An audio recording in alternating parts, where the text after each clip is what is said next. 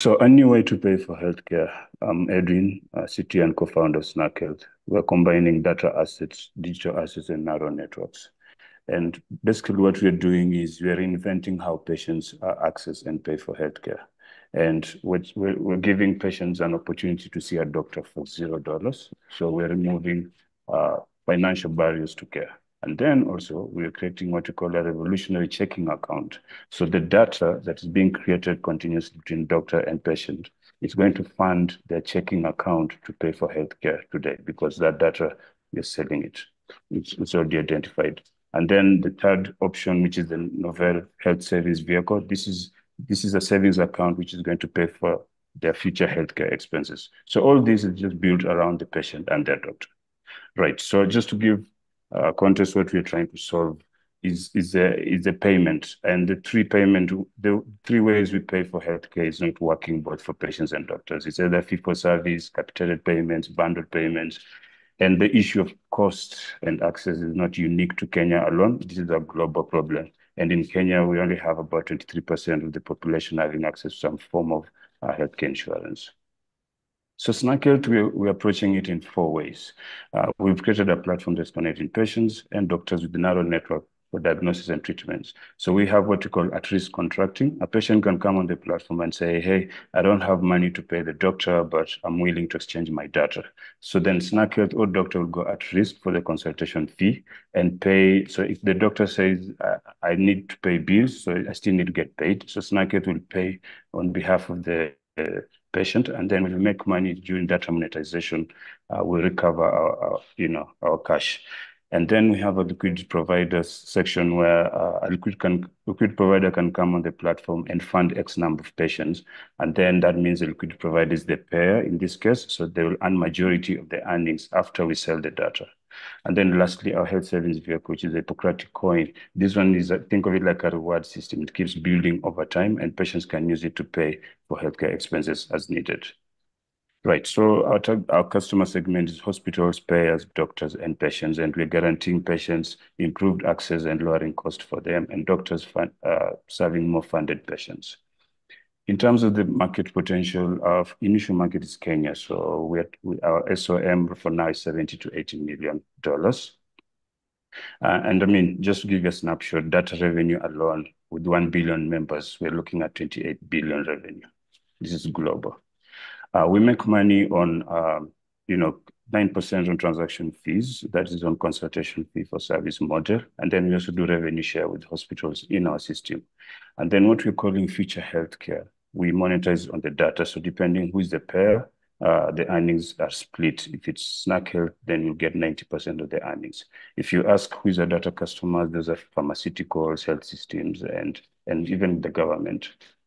So in terms these unit economies, we can go a bit deeper if if there's interest, but just for a quick snapshot. In, in a case of West Health, the payer will earn as little from 70 to $256. Uh, and this is our Hippocratic coin, which which we've done our distribution. Um, our cap is 21 billion, and uh, we're building it on Hedera. And we chose Hedera because of the speed of transactions.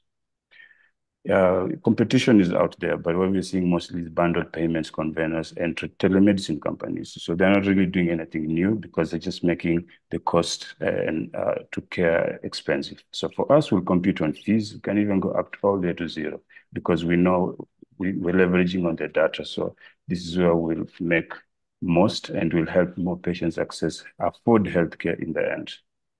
So our traction is up there. We have 5,000 patients working with them, over 100 consultations per week. And GAP data is our important data per uh, customer because they're helping us with packaging and sale of the data the data. And that's the team. Uh, Hank, I've known him for 25 years.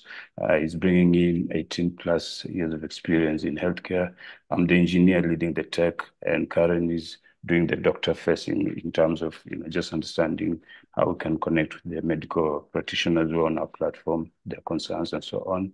And then Shomit is advising us on fundraising and so on. Yeah, so uh, the app is out there. It's both on Android and USSD for folks who don't have internet access uh, in our region. And I'll stop there, but that's quick summary basically uh, in terms of, you know, onboarded, how many patients and partnerships. Yeah. happy to hear your questions. Thank you. Thank you very much, Edwin. That was right on time, and it must be really difficult to pack so many information only in uh, five minutes. Uh, but that's why we have another eight minutes for some questions, and I'm sure I'm sure there will be some questions. So um, back to the judges. Yeah, I have one initial question. Um, that looked like some impressive revenue numbers for reselling the data. Have you tested these revenue numbers for the willingness to pay? Are there any buyers yet? Yes. So I think, uh, yeah, just to think of it like proof of transaction, right? Um, so Gap Data have already gotten as a pharmaceutical who's interested, and for them, they were just investigating a specific drug for malaria, and and so they were able to write us a check. But but for us, we said, okay, instead of us struggling to look for all these data customer who's going to buy, uh, we leave it to the data brokers because they've been in the game for a while, so they'll just find the, the buyers. So we still in um because we've just turned on things recently. So uh, and the reason also being part of this program is to look for all this partnership and figure out how we can now go a bit faster in onboarding. Um, let's call it data acquisition strategy.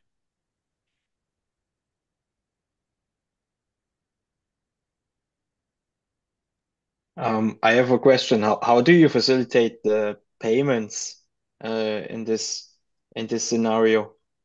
Like when Okay, you yeah. So yes, so so so the patient is presented choices, right? So the patient can come on board and say, I have insurance. Uh, I'm, I can afford to pay a doctor. So I don't really need to be part of the monetization. I'll just pay directly. So if they're paying cash, then we, we already have M-Pesa integrated, which I believe you've heard of oh it. Um, so, yeah so you top up on your wallet and you proceed to pay. And if you say you have an insurance company, no problem. Is it listed on our platform? Yes. And then you just select your insurance and then Snackit will chase the insurance for our money. But if you come on platform and say, I don't have any of that, I can't afford a doctor, then Snackit will, will step in and pay for your consultation fee. Um, and then that way, uh, so, so everything is now within our wallet, yeah, behind the scenes. So you you would be the one that's paying the doctor the money for the consultation. Yes, exactly. To go straight to their wallet and then they can withdraw That's to their, yes. Okay, understood. Okay, maybe. Oh yeah, Martin, you go ahead. No, uh, okay, yeah. Thanks. Uh, thanks, Edwin, for the for the insights. Uh, I think it's really a, a big uh, change. Uh, if I look from your perspective, I can imagine that uh, on, on the other side of the world, we, we do things differently. Um, if you would like to scale, do you scale then via signing more hospitals going to use, or do you need to go via individuals?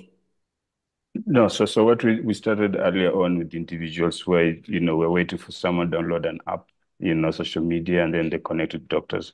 But you see, in a week, probably you're not having so many encounters. So we decided to move now to hospitals because that's where we generate large volumes of data. So right now, we're in the process of onboarding 7,000 facilities, and we're doing it in a clever way. So we, we have a database that is already out there by the Ministry of Health, and we have an open API. So we're plugging in the DB to us, and then we want patients to help us trigger claim your profile on those hospitals. So a patient would be like, but this is my favorite hospital. I want to be part of it. And we tell them no, but it's not onboarded with Snackit. So can you tell them you want? So they would just see like a hundred claim your profile coming to them. Then they'll be like, what the heck is Snackit? And then we onboard them. And then once we have large volumes of hospitals, then that translates to large volume of data sets. And then that way, when you do the identification and depending uh, what data customers are looking for, that's when our business would be kicking in nicely. Hope I've answered the question. Sorry. Yeah. And, and do you see also um, uh, questions popping up around uh, using the data? Uh, I know some, some banks, especially in the Netherlands, uh, try to do so, and there was a, a Yes. big push against to, to use that. Yeah. But how is it here? Because it's, it sounds to me quite confidential, although it will help the system. Yes, yes, yes. And especially, I mean, healthcare data is very sensitive. I wouldn't want any of my shit to be out there. Um, but what we've done is we, we're following. Uh, so in Kenya, we have what we call data privacy acts, and then we have the office dedicated for uh, data protection. So the first thing we did, we worked with the office and started building our processes. What what kind of information we are taking? How do you do the, the identification? How do they? How do you strip off the identifiers? And they were happy with that, and then they gave us what we call uh, data processor certification. So meaning, so they will be coming to do an audit every six months to see if we're doing what uh, what we said we were doing or how we're handling the, the patient's data. And then, of course, during the onboarding process, the patient has the option uh, to read uh, anything to do with data monetization. If they're, if they're not okay with it, they simply they, they leave it unchecked and our algorithm will simply just skim through and it won't even touch your information. Yeah. And if in, you wake up one morning and say, I want Snackle to download and send me the data or destroy, we also have that process in place. Um, it's not to say anything wrong about some, our friends who came in in our market called WorldCoin, but they missed out that part, and that's why the government shut them out because they just started collecting sensitive information without the the process. Just an example. Nothing against yeah. WorldCoin. Thank you.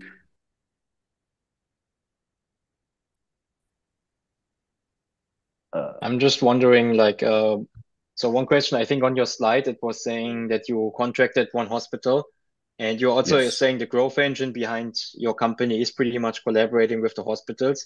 But yes. with how many have you spoken so far? Like, what's the rate of acceptance there?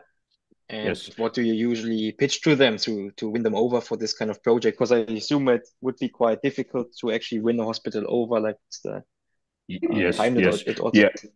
Yeah, yeah, yeah. So, so right now we are working with 300 specialists on the platform, and what we've learned is us doing the way we use the traditional way, social media, uh, to reach out and talking to hospitals individually, they couldn't see the value quickly. So uh, we decided to use our own 300 specialists to talk to them and say, look, we're not trying to interfere with your work timetable because we're just giving you a passive income. But so there's nothing wrong with you introducing us to your boss.